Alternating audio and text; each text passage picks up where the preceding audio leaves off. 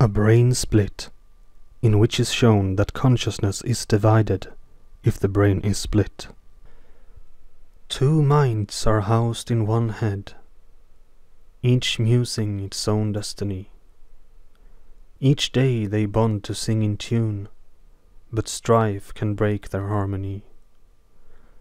One song turns two, their tune is shred. And so it was, a shore of servants chanted, standing around a man in mourning, and at each beat a boy flayed him with a violin bow. With clenched teeth, the man turned and spoke to Galileo. I called for you to show you my discoveries, so you can testify that I am not out of my mind. It was the wild prince of Venosa. The first discovery was long ago, said the prince.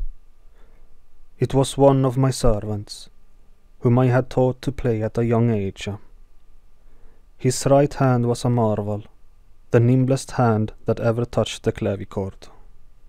But his left hand, fie, that hand was like a hoof, as if a brute had struck the keys, as if an angel and an animal were housed in the same body. So when the time had come, I asked my doctor to find out by opening the skull. And when Salerno did as I had told him, we saw his brain. And this is what we saw. The angelic mind that drove the masterly right hand dwelled to the left, not to the right, as had been thought before. The prince raised a large glass vase. Inside was the servant's skull, the brain preserved intact. But in the skull was only the left hemisphere. On the right, said the prince, was emptiness and negation, the emptiness that marks the devil. Devil or not, thought Galileo, that rather proved that half a brain was good enough for one full mind. A mind that could both speak and play and do the multitudinous things a mind can do. But Galileo could not think further. With a wink, the prince released the servants and led him down a dark spiral staircase. Inside the crypt, a recess in the wall held two scarnified bodies a man and a woman.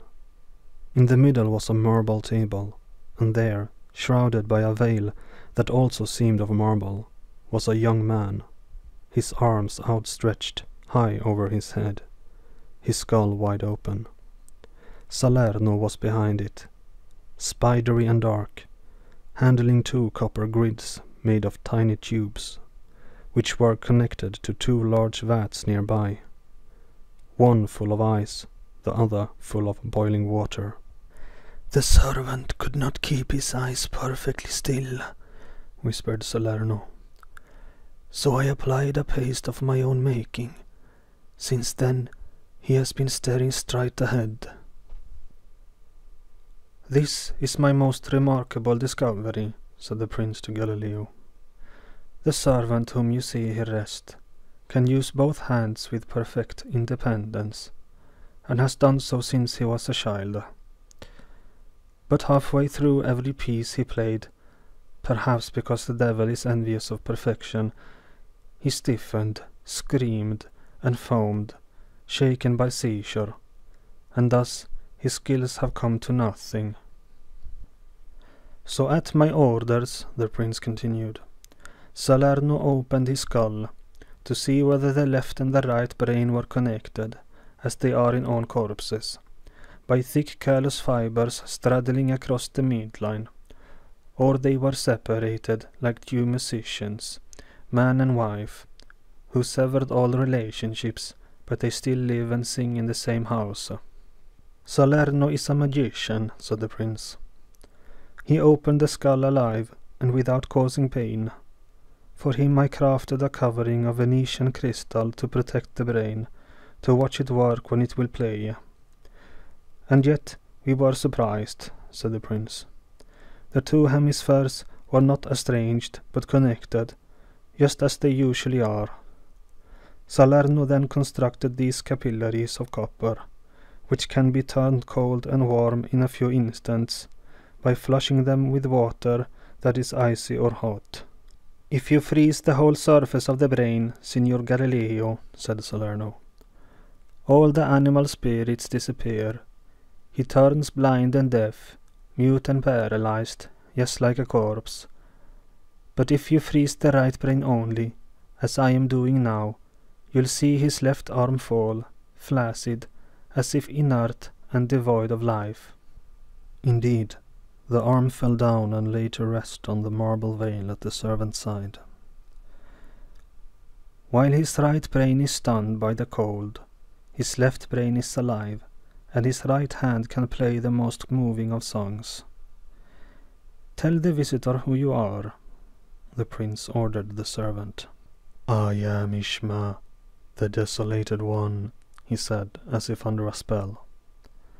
Now watch, exclaimed the prince, while pulling a rope to unveil a large marble complex, which stood in front of Ishma's staring eyes. Tell what you see, Ishma, said the prince. I see the body of a nymph, radiant of beauty, but veiled with modesty. Her face is sweet to me. Do you see anything else? asked the prince. No, said Ishma. She should be crowned with lilies. The Garden of Eden should embrace her, and birds should sing her praise. Do you feel unwell, Ishma? No, replied Ishma. Nothing hurts me, but I can't move my eyes. You'll be able to move them soon enough, said Salerno.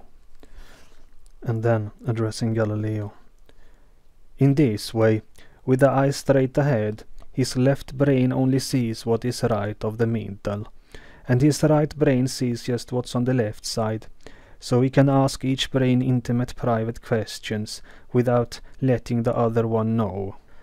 It's clear enough, thought Galileo. The left hemisphere is quite enough to uphold one consciousness. A consciousness that sees and hears, that thinks and speaks. You need two legs to walk. One hemisphere is enough to think. And yet something was missing. It was a consciousness that only saw the right side of the sculpture. It's time to switch, said the prince. Tu so Salerno, he ordered. Salerno moved the icy copper grid over the left brain and applied the warm grid over the right brain, so that it could recover its spirits. His right brain does not speak as well, the prince warned Galileo. Say who you are, ordered the prince after a while, when he saw that the servant had raised the left arm and lowered the right. El, said the servant's right brain, and then, after a long pause, God himself. Did anything happen to you, El? Do you feel strange? No, said El, again after a pause. Have you changed? No, said El. And what do you see in front of you? It took some time, but then El hesitantly said, Man beast.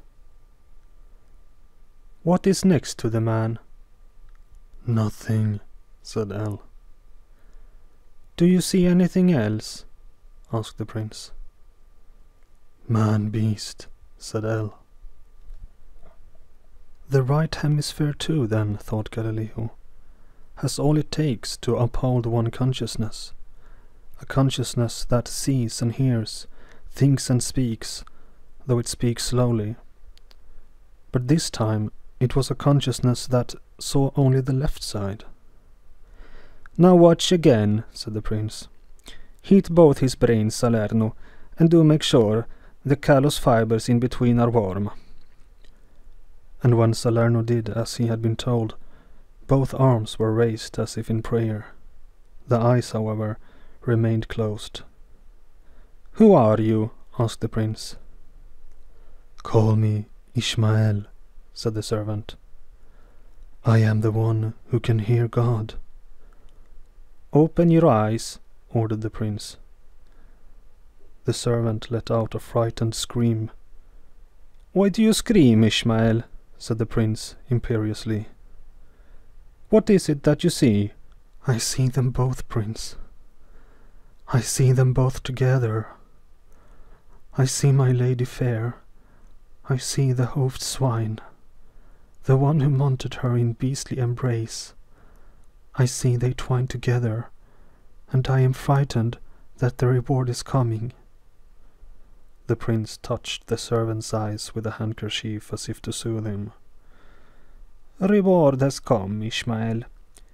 Your lady is now pure, and I have cleansed her, so her poor body could be left by her pure soul.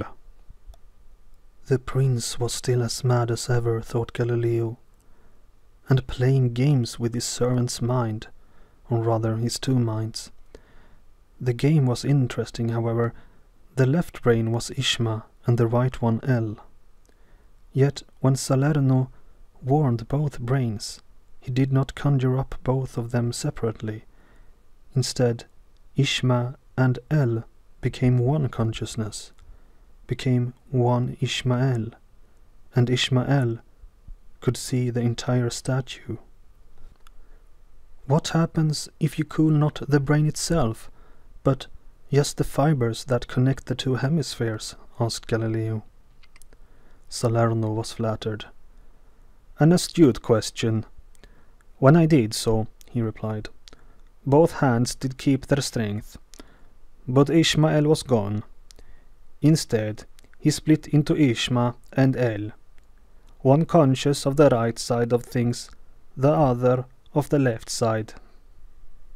So consciousness is split when the brain is split, thought Galileo. Then an image came to him. He saw the servant's arms, the left one raising and the right one dropping. Then the other way around, racing and dropping at faster and faster speed. Tell me, Galileo asked Salerno, when you freeze his right brain and warm it, then freeze it and warm it again, and you do it fast, every swing of the pendulum, what does it feel like? Does he feel that he is changing, or does he think that he remains the same? Each mind, each brain, will soon get used to its prison, not knowing what it's missing, said Salerno. You cannot see behind your back, but nothing seems amiss to you, though if you were a pigeon, surely you would feel half blind. So a man who's blind from birth will never know what seeing is like, will never know what's missing, and if he had been raised alone, he'll think that nothing much is wrong. But like a mole burrow, his days away, unseen and unaware, once I was told, continued Salerno. That savage people in America possesses another sense, a sense besides hearing and sight, and touch and taste and smell, a sense through which they feel within their heads, with startling strength, whether one's words and acts are truthful or are not. Like we can sniff if wine is good or bad. They sense both truth and falsity inside their minds. And when they sense a vivid lie, they crumple to the ground, holding their growling heads. But have you ever felt it missing? This strange sixth sense of truth? Does your own mind feel robbed because it does not have it? and sense an empty urn between your eyes. How would I know? I'll never know all that I am missing, said Galileo. A mind's a universe, indeed, but it's a universe with bounds. One cannot step outside its borders. It does not matter how large it is inside. Yes, said Salerno. So how much mind does a man need? Notes Carlo Gesualdo, Prince of Venosa, almost the same age as Galileo, was noted for his peculiar style, not just in musical matters. He discovered his wife and her lover in flagrante delicto. After butchering them to death with his sword, he had their bodies hanged in public from his palace. Later he suffered from depressive bouts, and his young attendants were required to flay him mercilessly. His palace in Naples passed to Raimondo di Sangro, Prince of San Severo, a man devoted, like his predecessor, to the singing of young boys and to alchemy. Legend has it that he and his physician Salerno injected a man and a pregnant woman with a secret petrifying substance to obtain the perfect casts of their blood vessels and organs that are kept in the palace's chapel. There are indeed many patients who had to undergo a hemispherectomy and have led a near normal life afterward. The experiment performed by Salerno is inspired with some liberties by the so-called Wada test, in which an anesthetic is injected first into the circulation of the right brain and then to the left to find out what are the independent functions of each hemisphere. Usually the left hemisphere is the one who speaks or speaks much better. Classic experiments by Gazzaniga, Bogen and Sperry demonstrated that when the brain is split, each hemisphere sees only one half of the visual field, and the other one does not know about it.